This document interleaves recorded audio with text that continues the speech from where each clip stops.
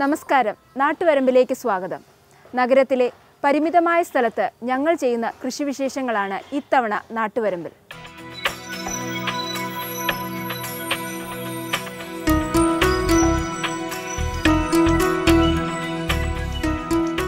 നഗരമധ്യത്തിലെ അഞ്ച് സെന്റിൽ ഒതുങ്ങുന്ന വീടിന്റെ മട്ടുപ്പാവും പരിസരവും ഹരിതസ്വർഗമാക്കി മാറ്റിയിരിക്കുകയാണ് സർക്കാർ ജീവനക്കാരായ കരോളിനും ശ്രീകാന്തും. ഞങ്ങൾ രണ്ടുപേരും ഉദ്യോഗസ്ഥരാണ്. ഞാൻ ഒരു അധ്യാപികയാണ്. Thiruvananthapuram government girls higher secondary school cotton ഹില്ലിലെ അധ്യാപികയാണ്. എന്റെ ഹസ്ബൻഡ് കൃഷി വകുപ്പിലാണ് ജോലി ചെയ്യുന്നത്. നാലാഞ്ചിറ സോയിൽ ടെസ്റ്റിംഗ് ലബോറട്ടറിയിലാണ് വർക്ക് ചെയ്യുന്നത്. എല്ലാവരുടെയും ഒരു ചോദ്യമാണ് ഞങ്ങൾ രണ്ടുപേരും ഉദ്യോഗസ്ഥരാണ്. എങ്കിലും എങ്ങനെ ഈ കൃഷികളെല്ലാം കൊണ്ടുപോകുന്നു എന്നുള്ളത് എല്ലാവരുടെയും ഒരു ചോദ്യമാണ്. അപ്പോൾ എനിക്ക് പറയാനുള്ളത് നമ്മൾ മനുഷ്യർക്ക് എല്ലാവർക്കും ഇരുപത്തിനാല് മണിക്കൂറാണ് ഉള്ളത്. ആ ഇരുപത്തിനാല് മണിക്കൂർ നമ്മൾ എങ്ങനെ വിനിയോഗിക്കുന്നു എന്നനുസരിച്ചായിരിക്കും നമ്മുടെ ഓരോ ലൈഫ് ടൈമിലും പോകുന്നത്. കാരണം ഞങ്ങൾ രണ്ടുപേരും നേരം വെളുക്കുമ്പോൾ എഴുന്നേറ്റ് ഈ ഒരു ജോലികളെല്ലാം ഏർപ്പെട്ടിട്ട് തന്നെയാണ് നമ്മുടെ ഉദ്യോഗത്തിലേക്ക് ഞങ്ങൾ കടക്കുന്നത്. മക്കളായ ആദിലും അതിഥിയും കൃഷികാര്യങ്ങളിൽ അച്ഛനമ്മമാർക്കൊപ്പമുണ്ട്. വർഷങ്ങളായി മട്ടുപ്പാവിൽ ഇവർ ഗ്രോ ബാഗുകളിൽ കൃഷി ചെയ്തു വരുന്നു. ടെറസിലെ കൃഷികളെല്ലാം ഗ്രോ ബാഗിൽ തന്നെയാണ് ചെയ്യാറുള്ളത്. ഗ്രോ ബാഗിൽ നമ്മൾ സാധാരണയും ഉപയോഗിക്കുന്നത് നമ്മുടെ വീട്ടിലെ തന്നെ ജൈവ വളങ്ങൾ തന്നെയാണ്. കാരണം ഞങ്ങൾക്കിപ്പം ആട്ടും കാട്ടവും കോഴിക്കാഷ്ടവും ഇതെല്ലാം നമുക്ക് അവൈലബിൾ ആണ്. പിന്നെ ഇലകൾ ഉണങ്ങിയ ഇലകൾ ഇതെല്ലാം ഗ്രോ ബാഗിൽ മണ്ണിന്റെ ഉപയോഗം വളരെ കുറച്ചും എന്നിട്ട് മറ്റ് ജൈവ വളങ്ങൾ കൂടുതലായിട്ട് ചേർത്ത് തന്നെയാണ് ഇത് ഉപയോഗിക്കുന്നത്. ഒരുപാട് വെള്ളം ഒഴിക്കേണ്ട ആവശ്യം വരുന്നില്ല. ആവശ്യത്തിന് മാത്രം അതായത് ഡ്രെയിൻ ചെയ്ത് പോകരുത്. ഗ്രോ ബാഗിൽ നിന്ന് ഒരുപാട് ഡ്രെയിൻ ചെയ്ത് പോകാതെ തന്നെ അതിന്റെ ഉള്ളിൽ ആവശ്യത്തിന് വെള്ളം നിലനിൽക്കുന്ന രീതിയിൽ തന്നെ വെച്ച് കാരണം ടെറസിലായതുകൊണ്ട് വളം ഡ്രെയിൻ ചെയ്ത് പോകാതിരിക്കാനുള്ള എല്ലാ നടപടികളും എടുത്തിട്ടാണ് അതിനുള്ള കൃഷി ചെയ്യുന്നത്. രാവിലെയാണ് സാധാരണ വെള്ളം ഒഴിക്കുന്നത്. വൈകുന്നേരം വാടി എന്ന് കണ്ടാൽ മാത്രം വൈകുന്നേരങ്ങളിൽ വെള്ളം ഒഴിക്കാറാണ് പതിവ്. ഓരോ സീസണിലും ഓരോ വിളകൾ നടുന്നു. ഇത് ഒരു വർഷക്കാലം നമുക്ക് കൃഷി നമ്മൾ മുഴുവൻ നടത്തുന്നുണ്ടെങ്കിലും എല്ലാ സമയവും ഒരേ കൃഷി തന്നെ ആയിരിക്കില്ല. ഒരു കാല സമയത്ത് നമ്മൾ ചീരയാണെങ്കിൽ മറ്റൊരു സമയത്ത് മറ്റൊരു വിളവായിരിക്കും അതിൽ നമ്മളതിൽ ഉൾപ്പെടുത്തിയിട്ടുണ്ടാവുക. നമ്മൾ കൂടുതലും നമുക്ക് കൃഷി ഞങ്ങൾ ചെയ്യുന്നത് നവംബർ മുതൽ ജൂൺ വരെയുള്ള നല്ലൊരു വെയിലും ഉള്ള ഒരു സമയത്ത് എന്നാൽ ഇടയ്ക്ക് മഴ കിട്ടുന്ന ആ ഒരു സമയത്താണ് ഞങ്ങൾ കൂടുതലും കൃഷി നടത്തുന്നത്. ഇപ്പോൾ ഞങ്ങൾ നട്ടിരിക്കുന്നത് മുളക് കത്തിരി പയർ ചീര വെണ്ട ഇതൊക്കെയാണ്. ഇപ്പോൾ ഒരു വിളവെടുപ്പ് കഴിഞ്ഞ് ഞങ്ങൾ അടുത്തതിലേക്ക് മാറിയ ഒരു ഘട്ടമാണ് ഇപ്പോൾ ഉണ്ടാവുന്നത്. തെങ്ങുൾപ്പെടെയുള്ള ബലവൃക്ഷങ്ങളും മട്ടുപ്പാവിൽ പച്ചപ്പ് നിറയ്ക്കുന്നു. നഗരത്തിൽ താമസിക്കുന്ന നമുക്ക് സ്ഥലപരിമിതി പലപ്പോഴും ഒരു പ്രശ്നമാണ്. പക്ഷേ ഉള്ള സ്ഥലത്ത് നമ്മൾ എന്തെല്ലാം കൃഷി ചെയ്തെടുക്കാം എന്നുള്ളതാണ് അതിന്റെ പ്രാധാന്യം എന്ന് പറയുന്നത്. അപ്പോൾ ഞങ്ങൾ ഈ ടെറസിൽ തന്നെയായിട്ട് വർഷങ്ങളോളം കൃഷി ചെയ്യുന്നുണ്ട്. അപ്പോൾ ഈ ടെറസിൽ പച്ചക്കറി കൃഷി മാത്രമല്ല നമ്മൾ നേരത്തെ പറഞ്ഞ പോലെ കസ്തൂരി മഞ്ഞളുണ്ട്. ഞങ്ങൾ ഗ്രോ ബാഗിൽ തന്നെ ഇഞ്ചി കസ്തൂരി മഞ്ഞൾ പിന്നെ മരിച്ചീനി ചേന ഇതെല്ലാം നട്ട് അതിന്റെ ഫലങ്ങൾ എടുക്കാറുണ്ട്. ഒപ്പം തന്നെ ഫലവൃക്ഷങ്ങളും ഒപ്പം ഈ തെങ്ങ് തന്നെ ഞങ്ങൾ ടെറസിലാണ് നട്ടുപിടിപ്പിച്ചിരിക്കുന്നത് ഫലവൃക്ഷങ്ങൾ റംബൂട്ടാൻ ഡ്രാഗൺ ഫ്രൂട്ട് ഈ എല്ലാ പറ്റുന്ന ഞങ്ങൾക്ക് ഞങ്ങളെ കൊണ്ട് കഴിയുന്ന എല്ലാ വൃക്ഷങ്ങളും ഫലവൃക്ഷങ്ങളും ഈ ടെറസിൽ തന്നെ കൃഷി ചെയ്ത് അതിന്റെ ഫലം ഞങ്ങൾ വീട്ടിലേക്കായിട്ട് എടുക്കാറുണ്ട്. ഇവർ ഉൽപ്പാദിപ്പിക്കുന്ന മികച്ച ഇനം കസ്തൂരി മഞ്ഞളിന് ആവശ്യക്കാരേറെയാണ്. മണത്ത് നോക്കിക്കാൻ ഒരു കർപ്പൂരത്തിന്റെ ഒരു സ്മെല്ലാണ് നമുക്ക് കിട്ടുന്നത്. ഈ ഇത്രയും നമ്മുടെ ഗ്രോ ബാഗിൽ തന്നെ നമുക്ക് കൃഷി ചെയ്യാൻ സാധിച്ചു എന്നുള്ളതാണ് ഇതിന്റെ ഒരു സന്തോഷം എന്ന് പറയുന്നത്. പിന്നെ നമ്മൾ ഈ എല്ലാവരുടെയും ഒരു കൂട്ടായ്മയാണ് ഈ ഒരു കൃഷി എന്ന് പറയുന്നത്. ഞങ്ങൾ നാല് പേരും അല്ലാതെ പുറത്തുനിന്ന് ആരും ഇല്ല. ഞങ്ങൾ നാല് പേരും തന്നെയാണ് ഇതിന്റെ എല്ലാ നോക്കി നടത്തുന്നതും എല്ലാം തന്നെ. ഏഴാം ക്ലാസ് വിദ്യാർത്ഥിയായ ആദിൽ കൃഷി പഠിച്ചതും ഈ മട്ടുപ്പാവിൽ നിന്നു തന്നെ പരമാവധി മണ്ണൊഴിവാക്കിക്കൊണ്ടാണ് ഗ്രോ ബാഗ് കൃഷി. ഗ്രോ ബാഗിൽ ഉള്ള കൃഷിക്കായിട്ട് നമ്മൾ പറമ്പിൽ നിന്ന് തന്നെ മണ്ണെടുക്കുകയും പിന്നെ ആട്ടും കാഷ്ടം. അത് വൺ ഈസ് ടു വൺ എന്നുള്ള റേഷ്യോയിൽ അത് മിക്സ് ചെയ്യും. പിന്നെ കൂടുതലായിട്ടും കരിയിലപ്പൊടി ഒപ്പം അതിനൊരു ഒരല്പം നമ്മൾ വേപ്പും പിണ്ണാക്കും കൂടെ ചേർക്കാറുണ്ട്. ഇത് ചേർത്ത് ആണ് ഞങ്ങൾ മിക്സ് ചെയ്ത് ഈ ഗ്രോ ബാഗുകളിൽ നിറയ്ക്കുന്നത്. ശ്രീകാന്തിന് കൃഷി ഒരു പാഷനാണ് സമയം കണ്ടെത്തണം. ഇത് ചെയ്യാനായിട്ട്. രാവിലെ രാവിലെ ഒരു ആ- നമ്മളൊരു അഞ്ച് അഞ്ചര ആറ് മണിക്ക് എല്ലാവരും എണീക്കുന്നു. ഒരു പിന്നെ ഒരു ഒമ്പത് മണി വരെ ഇതിന്റെ പുറകെയാണ്. ഇതൊരു പാഷനാണ് പിന്നെ ഇതിനൊന്നും ഒരു നമുക്ക് പൈസ പറയാൻ പറ്റത്തില്ല. നമ്മൾ വിഷമില്ലാത്ത പച്ചക്കറി ബാക്കി കാര്യങ്ങളൊക്കെയാണ് കിട്ടുന്നത്. പാലായിരുന്നാലും മുട്ടയായിരുന്നാലും എല്ലാം. അതിനൊരു വിഷാംശമില്ലാത്തൊരു സാധനമാണ് നമുക്ക് കിട്ടുന്നത്. അപ്പോൾ അതിനൊരു വില മതിക്കാൻ പറ്റത്തില്ല. സമ്പൂർണമായും ജൈവവളം ഉപയോഗിച്ച് വിഷം കലരാത്ത പച്ചക്കറികൾ ഇവർ ഉൽപ്പാദിപ്പിക്കുന്നു. നമ്മൾ ജൈവ രീതിയാണ് നമ്മൾ വേറെ രാസവളങ്ങളൊന്നും ഉപയോഗിക്കാറില്ല. ആ ടെറസിന്റെ മുകളിലായിട്ട് പ്രത്യേകിച്ച് ഒന്നും ചെയ്യാറില്ല. ഏകദേശം ഒരു ഇരുപത്തഞ്ച് വർഷത്തിന് മേലെയായി ഇവിടെ കൃഷിയുള്ള കൃഷി ചെയ്ത് തുടങ്ങിയിട്ട് ഗ്രോ ബാഗിൽ. ഇടയ്ക്ക് വെച്ചിട്ട് മാറ്റി മണ്ണൊക്കെ മാറുന്നുണ്ട് നമ്മൾ മെയിനായിട്ട് ആട്ടും കാഷ്ടം കോഴിവളമാണ് ഉപയോഗിക്കുന്നത്. അത് നമുക്കിവിടെ സുലഭമായിട്ട് കിട്ടുന്ന സാധനമാണ്. പിന്നെ മണ്ണിന്റെ പി എച്ച് നോക്കാനായിട്ട് നമ്മൾ കക്ക ഉപയോഗിക്കുന്നുണ്ട്. നീറ്റ് കക്ക ഉപയോഗിച്ചിട്ട് ഒരു ഒരാഴ്ചത്തോളം മണ്ണിൽ മിക്സ് ചെയ്തിട്ടതിന് ശേഷമാണ് അതിലേക്ക് പച്ചക്കറി നടുന്നത്. മണ്ണ് കുറവാണ് ഇതിന്റെ അകത്ത്. ഇതിന്റെ അകത്ത് ജൈവവളങ്ങളാണ് കൂടുതൽ ഇട്ടേക്കുന്നത്. കരിയില ഈ മാവിന്റെയൊക്കെ കരിയില വീണ് പൊടി ചെയ്യുന്നത് പിന്നെ കോഴിവളവും ആട്ടും കാഷ്ടവുമാണ് കൂടുതലായിട്ട് നമ്മളിതിൽ ഉപയോഗിക്കുന്നത്. ഇത് ഗ്രോ ബാഗിന് വലിയ വെയിറ്റ് ഇല്ല. മണ്ണ് കുറവാണ്. മണ്ണൊരു ട്വന്റി ട്വന്റി ഫൈവ് പെർസെന്റേജ് മാത്രമേ മണ്ണുള്ളൂ. ബാക്കി ജൈവവളങ്ങളാണ് കൂടുതലും ചേർത്തേക്കുന്നത്. ഇരുവരും സർക്കാർ ഉദ്യോഗസ്ഥർ കുട്ടികളാകട്ടെ വിദ്യാർത്ഥികളും രാവിലെയും വൈകിട്ടുമുള്ള ഒഴിവു നേരങ്ങൾ മാത്രമാണ് ഇവർ കൃഷിക്കായി ചിലവിടുന്നത്. ഒരു ദിവസം ഞങ്ങൾ നേരം വെളുക്കുമ്പോൾ ഒരു അഞ്ച് അഞ്ചരയ്ക്ക് തുടങ്ങുന്ന ഒരു ജോലി. ഈ ഉള്ള പണികളെല്ലാം ഞങ്ങൾ തീർത്തിട്ട് തന്നെയാണ് ഞങ്ങൾ പോകുന്നത്. കാരണം രണ്ടുപേരും ഒപ്പത്തിനൊപ്പം നിന്ന് തന്നെയാണ് ചെയ്യുന്നത്. രാവിലെ രണ്ടുപേരും സ്കൂളിൽ പോകുന്നതിന് മുൻപ് മോൻ അത്യാവശ്യം ഒന്ന് ഹെൽപ്പ് ചെയ്യാറുമുണ്ട് ബാക്കി കൃഷിയും കാര്യങ്ങളും എല്ലാം അവർക്ക് പക്ഷിമൃഗാദികൾക്ക് വേണ്ടുന്ന വെള്ളവും അവർക്ക് വേണ്ടുന്ന ഭക്ഷണവും എല്ലാം കൊടുത്ത ശേഷം മാത്രമാണ് ഞങ്ങളും സ്കൂളിൽ പോകുന്നതും ഉദ്യോഗത്തിനായിട്ട് പോകുന്നത്. അത് വളരെ ഭംഗിയായി തന്നെ ഞങ്ങൾക്ക് കൊണ്ടുപോകാൻ സാധിക്കുന്നു എന്നുള്ളത് ഇതിനോടുള്ളൊരു താല്പര്യമുള്ളത് കൊണ്ട് തന്നെയാണ്. ഇരുപത്തിനാല് മണിക്കൂർ എന്നുള്ളത് നമ്മൾ എങ്ങനെ ഓരോ വ്യക്തിയും എങ്ങനെ ഉപയോഗിക്കുന്നു എന്നനുസരിച്ചിരിക്കും. നമ്മുടെ ഒരു മനസ്സും നമുക്കുള്ള താല്പര്യവും മാത്രം ഇതിലൊരു ഒരല്പം നേരം മാറ്റി വെച്ചിരുന്നു കഴിഞ്ഞാൽ നമുക്ക് വീട്ടിൽ തന്നെ ഉള്ള ഭക്ഷണം അതായത് പച്ചക്കറി ആണെങ്കിലും വളരെ കുറച്ച് പച്ചക്കറി മതി. നാല് പേർക്കുള്ള പച്ചക്കറി തീർച്ചയായിട്ടും നമ്മുടെ കൃഷി ടെറസിൽ കൃഷിയിൽ നിന്നും ഉറപ്പായിട്ട് നമുക്ക് ഉണ്ടാക്കിയെടുക്കാനായിട്ട് സാധിക്കും.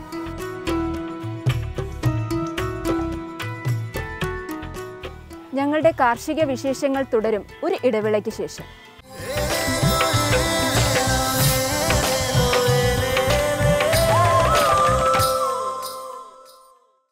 സംയോജിത കൃഷിയുടെ ഭാഗമായി ഞങ്ങൾ കോഴിയും ആട് താറാവ് മുയൽ ഇതെല്ലാം വളർത്തുന്നുണ്ട്. ഒപ്പം തന്നെ ഇതിൽ നിന്ന് കിട്ടുന്ന കാഷ്ടവും മറ്റുമാണ് കൃഷി ഇനങ്ങൾക്കായിട്ട് ഉപയോഗിക്കുന്നത്. ആ കൃഷി ഇനങ്ങളിൽ കിട്ടുന്ന വാഴയിലയും മറ്റുമാണ് ഈ മൃഗങ്ങൾക്കും മറ്റും കൊടുക്കാനായിട്ട് ഉപയോഗിക്കുന്നത്. സംയോജിതമായ ഇത്തരം രീതികളിലൂടെ കൃഷിയെ വളരെ മികച്ച രീതിയിൽ മുൻപോട്ട് കൊണ്ടുപോകാൻ ഞങ്ങൾക്ക് സാധിക്കുന്നുണ്ട്. സംയോജിത കൃഷി രീതി തന്നെയാണ് ഷാരോൺ ശ്രീകാന്ത് ദമ്പതികളുടെ കാർഷിക വിജയ രഹസ്യം ഇവരുടെ കുടുംബ വീടിന്റെ മുറ്റം നിറയെ ആടുകളും കോഴികളും മുയലുകളുമൊക്കെ സമൃദ്ധി നിറയ്ക്കുന്നു.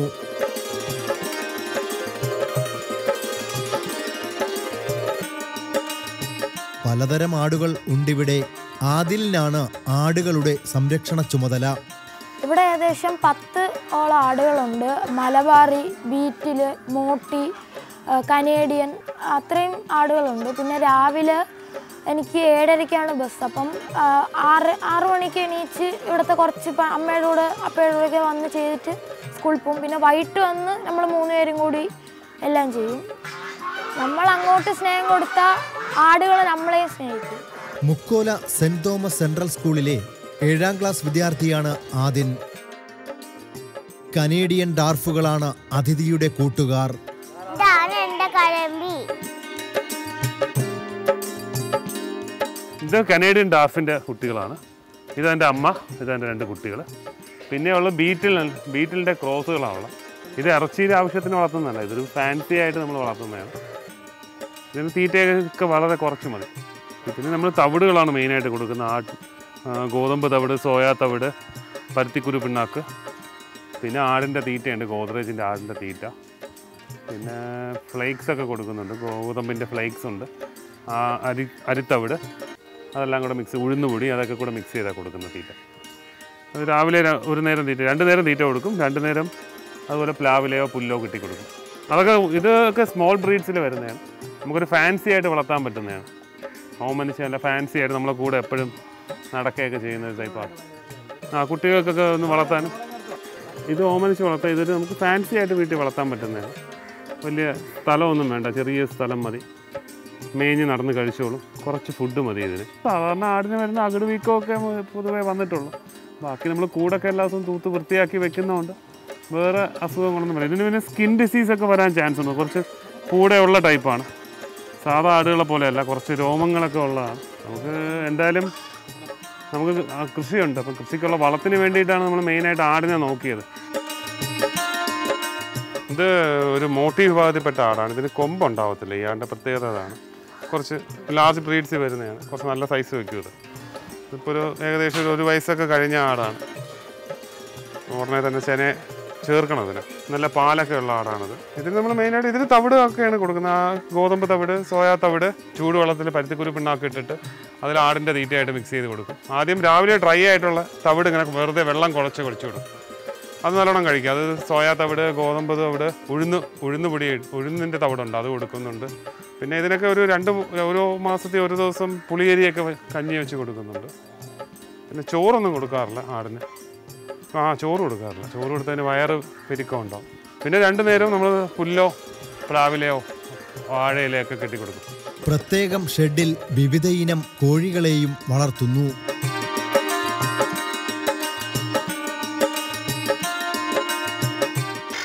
ഫയോമി കോഴിയാണ്. ഈജിപ്ഷ്യൻ ഇനത്തിൽ പെട്ട ഒരു കോഴിയാണ്.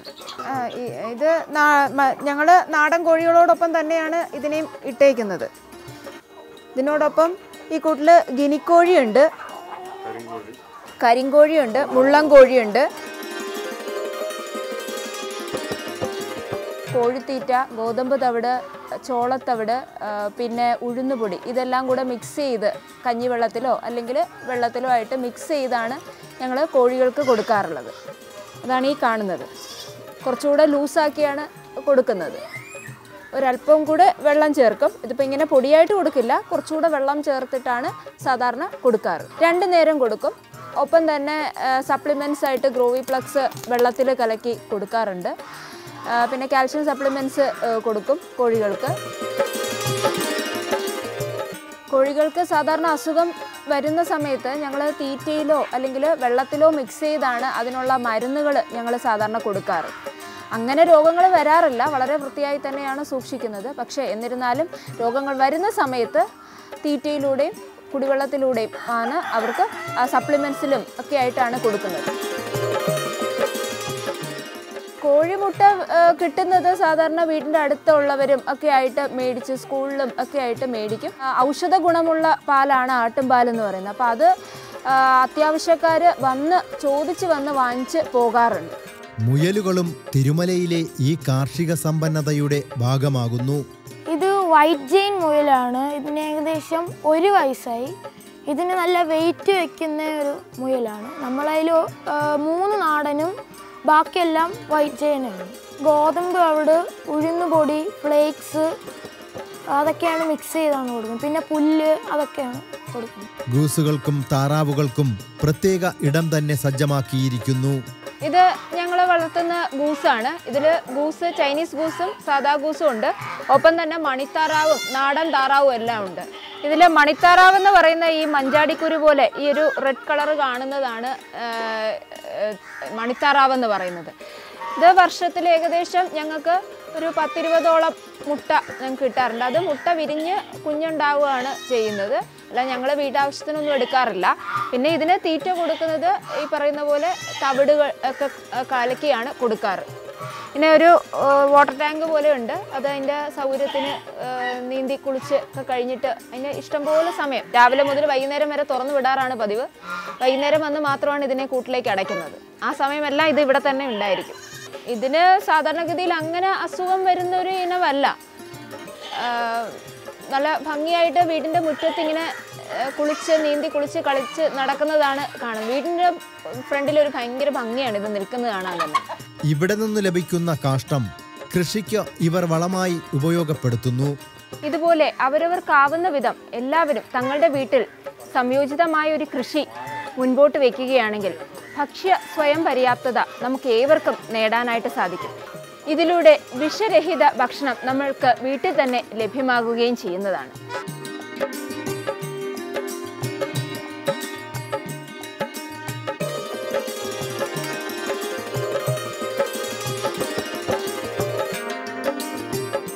നാട്ടുവരമ്പിൽ ഇനി ഒരു ഇടവേള കൂടി.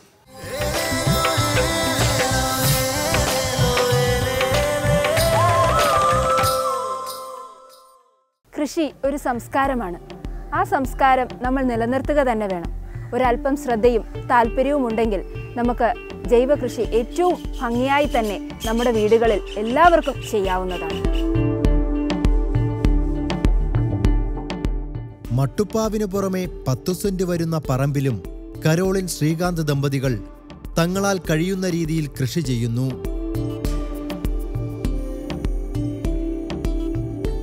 തരിശായി കിടന്ന ഭൂമി ഏറെ പണിപ്പെട്ട് കൃഷിയോഗ്യമാക്കി എടുക്കുകയായിരുന്നു. നമ്മളപ്പോൾ നല്ലൊരു അധ്വാനത്തോടെയാണ് ഇതിനെ കൃഷിയോഗ്യമാക്കി മാറ്റിയത്. അപ്പോൾ നമ്മൾ ആദ്യമായിട്ട് നമ്മളിവിടെ വാഴയും പച്ചക്കറിയും ആദ്യം ചെയ്തുകൊണ്ടിരുന്നത്. പിന്നെ നമ്മൾ ഇതിന്റെ ഇടയ്ക്ക് കുറച്ച് സി ഒ ത്രീ പുല്ല് വെച്ച് തുടങ്ങി. അപ്പം പുല്ലൊക്കെ നല്ല രീതിയിൽ വന്നു തുടങ്ങി. പക്ഷേ ഇടയ്ക്ക് വെച്ചിട്ട് കുറച്ച് പുല്ലൊക്കെ കേട് കുമൾ രോഗം എന്തോ വന്നിട്ട് കുറേ ചീഞ്ഞു പോയി. അപ്പം അങ്ങനെ മണ്ണൊക്കെ ടെസ്റ്റ് ചെയ്തപ്പം പി എച്ച് ഒക്കെ വളരെ കുറവാണ് ഇവിടുത്തെ മണ്ണിന്. അപ്പം അത് മെച്ചപ്പെടുത്താനായിട്ട് ഇപ്പം കക്കയൊക്കെ ഇട്ട് കൊടുത്തിട്ടുണ്ട്. ഇപ്പം മണ്ണൊക്കെ ഒന്ന് കൊത്തിക്കിളച്ച് കക്കയൊക്കെ ഇട്ടിട്ടുണ്ട്. അപ്പോൾ അത് കയറി വരും. അടുത്ത ഇതിൽ അടുത്ത ഒരു രണ്ട് മൂന്ന് മാസത്തിനകത്ത് നല്ല രീതിയിൽ കയറി വരും. പിന്നെ അടുത്ത ഇനിയിപ്പോൾ നമ്മൾ പച്ചക്കറി ഉറങ്ങാൻ പോവുകയാണ്. അവിടെ ബെഡൊക്കെ തയ്യാറായി കഴിഞ്ഞു. പിന്നെ കുറച്ച് ചീരയും മുളകൊക്കെ ആയിട്ട് ഞാൻ നടാനായിട്ട് പോവുക ഇതിന്റെ ഇടയ്ക്കുള്ള സ്ഥലങ്ങൾ മൊത്തം യൂട്ടിലൈസ് ചെയ്യാനായിട്ട് പോവുകയാണ്. ഇതിനിടെ കുറച്ച് വാഴയും കൂടെ വയ്ക്കണം ആ കൃഷി ഇതൊക്കെ നമ്മുടെ ജീവിതത്തോട് ചേർന്ന് നിൽക്കുന്ന സംഭവമാണ്. അപ്പോൾ അതെന്തായാലും നമ്മൾ എന്ത് വില കൊടുത്ത് തന്നെ മുന്നോട്ട് കൊണ്ടുപോകും അങ്ങനത്തെ സാഹചര്യമാണ് ഇപ്പോൾ. ജോലിക്കൊപ്പം തന്നെ നമ്മളിത് മുന്നോട്ട് കൊണ്ടുപോകാനാണ് നമ്മുടെ തീരുമാനം. വിവിധ ഇനം വാഴകൾ ഇവിടെ സമൃദ്ധി നിറയ്ക്കുന്നു. ഇവിടെ മെയിനായിട്ട് ഏത്തനാണ്. ഏത്തനാണ് കൃഷി ചെയ്യുന്നത്. നമ്മുടെ തീറ്റപ്പുല്ലിന്റെ ഇടയ്ക്ക് ഇടവിളയായിട്ടാണ് വാഴ വെച്ചേക്കുന്നത്. ഇപ്പോൾ ഏത്തനുണ്ട് ഓബസ്റ്റയുണ്ട് രസകതളയുണ്ട് കപ്പവാഴയുണ്ട്. നമ്മൾ ഇതിന് കൊടുക്കുന്ന വളമെന്ന് പറയുന്ന ആട്ടിന്റെ കാഷ്ടവും കോഴിവളവുമാണ് മെയിനായിട്ട് കൊടുക്കുന്നത്. പിന്നെ നമ്മൾ ചാരം ഇട്ട് കൊടുക്കുന്നുണ്ട്. അതിന് പച്ചില വളങ്ങളൊക്കെ ഇട്ട് ഇതിന്റെ മൂടി വെക്കുകയാണ്.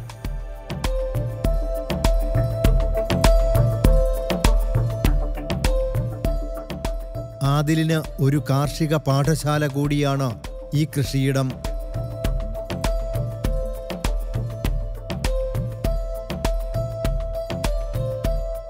റെഡ് ലേഡി പപ്പായയുമുണ്ട് പറമ്പിൽ. കൃഷിയിൽ നിന്ന് ഒരു വരുമാനം എന്നതല്ല ഈ ദമ്പതികളുടെ ലക്ഷ്യം. കൃഷിയിൽ നമുക്ക് ഒരുപാട് ലാഭം എന്നതിനേക്കാളും ഞങ്ങളെ സംബന്ധിച്ച് ഒരു പോസിറ്റീവ് എനർജിയാണ് ഈ കൃഷിയിലൂടെ നമുക്ക് കിട്ടുന്നത്. കാരണം ഒരുപാട് ജോലി തിരക്കുകൾക്കിടയിൽ ഇവിടെ വന്ന് ഈ ടെറസിൽ വൈകുന്നേരങ്ങളിലൊക്കെ ഈ ടെറസിൽ വന്നിരുന്ന് ഇതിലെ കൃഷികളും മറ്റു കാര്യങ്ങളും ഒക്കെ ശ്രദ്ധിക്കുക. ഒപ്പം തന്നെ ഈ കുഞ്ഞുങ്ങളെല്ലാം ഞങ്ങളോട് ആ സമയത്താണ് ഒന്ന് സംസാരിക്കുന്നത്.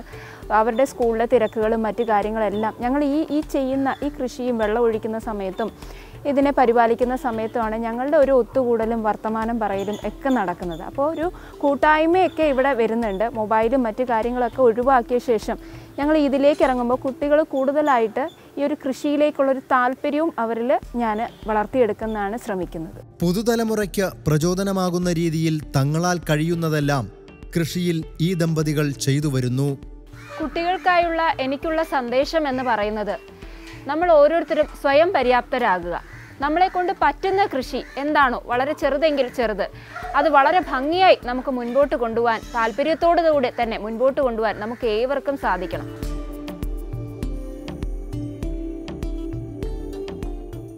വീട്ടിൽ തന്നെയുള്ള വളങ്ങളും അല്ലെങ്കിൽ ജൈവ വളങ്ങളും എല്ലാം ഉപയോഗിച്ച് അത് ചെയ്യാനുള്ള ഒരു ഒരു ബൂസ്റ്റപ്പ് കുട്ടികൾക്ക് കൊടുക്കുക എന്ന് പറയുന്നത് ഏറ്റവും വലിയൊരു കാര്യമാണ്. അത് പേരൻസിന് ചെയ്യാം ഒപ്പം അധ്യാപകർക്ക് ചെയ്യാം. ഇപ്പോൾ ആ സ്കൂളിൽ തന്നെ വിവിധ ക്ലബ്ബുകളും മറ്റു കാര്യങ്ങളും എല്ലാം ഉണ്ട്. അപ്പോൾ അവർ കൊണ്ടുവരുന്ന സാധനങ്ങൾ സ്കൂളിൽ കൊണ്ടുവരിക അത് പ്രദർശിപ്പിക്കുക ഇത്തരം കാര്യങ്ങളൊക്കെ ചെയ്യുമ്പോൾ അവർക്ക് അതിനോടുള്ളൊരു താല്പര്യം മറ്റും കൂടുകയാണ് ഉണ്ടാവുക.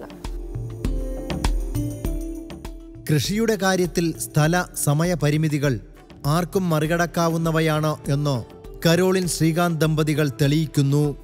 ഇരുപത്തിനാല് മണിക്കൂർ എന്ന് പറയുന്നതിൽ വളരെ കുറച്ച് സമയം മാത്രം നമ്മൾ ടെറസിലെ കൃഷിക്കോ അല്ലെങ്കിൽ വീട്ടിലെ അടുക്കള ആവശ്യത്തിന് വേണ്ടി മാത്രം വളരെ കുറച്ച് നാളുകൾ കൊണ്ട് ഫലം കിട്ടുന്ന രീതിയിലുള്ള കൃഷി നമുക്ക് ചെയ്തെടുക്കാമെങ്കിൽ വളരെ സന്തോഷമായിരിക്കും നമ്മുടെ മക്കൾക്ക് നമ്മൾ തന്നെ കൃഷി ചെയ്തെടുത്ത ഫലങ്ങൾ അവർക്ക് വെച്ചുണ്ടാക്കി കൊടുക്കുക എന്നുള്ളത് ഏറ്റവും ഒരു സന്തോഷകരമായ ഒരു കാര്യം തന്നെയാണ്. കാർഷിക പാരമ്പര്യവും കൃഷിയോടുള്ള താല്പര്യവും ഈ കുടുംബത്തെ പ്രകൃതിയെയും പച്ചപ്പിനെയും സ്നേഹിക്കാൻ പ്രാപ്തരാക്കിയിരിക്കുന്നു.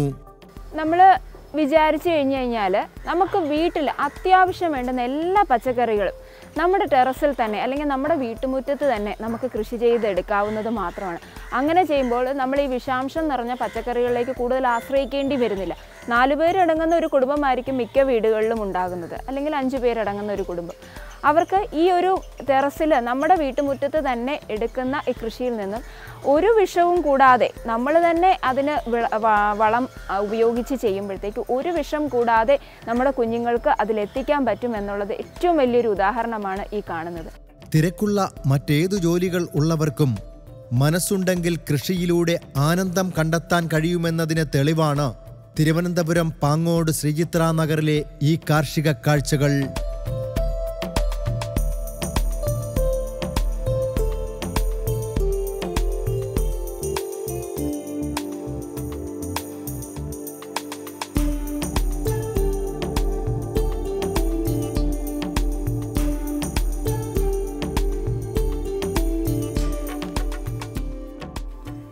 സ്ഥലപരിമിതി മറികടന്ന് എല്ലാവരും കൃഷിയിലേക്ക് ഇറങ്ങുക കൃഷിയെ പ്രോത്സാഹിപ്പിക്കുക. തങ്ങളുടെ മക്കൾക്ക് വിഷാംശമില്ലാത്ത പച്ചക്കറികൾ ഉപയോഗിക്കാനുള്ള അവസരമുണ്ടാക്കുക. നാട്ടുവരമ്പിലെ ഈ ഒരു അധ്യായം ഇവിടെ പൂർണമാകുന്നു. നമസ്കാരം.